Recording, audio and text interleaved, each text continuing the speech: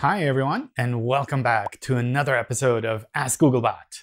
I'm here from Google's Search Relations team to answer your questions about Google Search. Our question today comes from Ariadna, and it's about not showing some text in a snippet.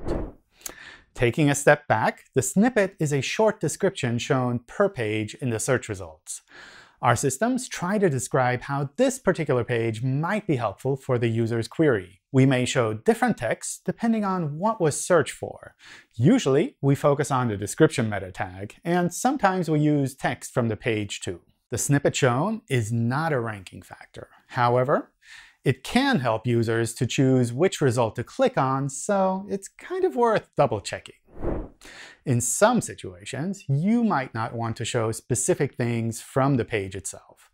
That might be dynamic content or just something you'd prefer only to show in the context of your own page. Recently, we introduced a way to let us know about text you'd like to exclude. It's called the data-nosnippet attribute.